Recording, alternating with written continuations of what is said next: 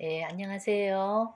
예, 제가 어저께 이제 명절 때 떡 안 하고 그냥 떡국떡을 산다 그랬더니 예, 우리 지인분이 방앗간에서 이렇게 가래떡을 빼갖고 보내주신 거예요. 아이고 너무 감사하죠.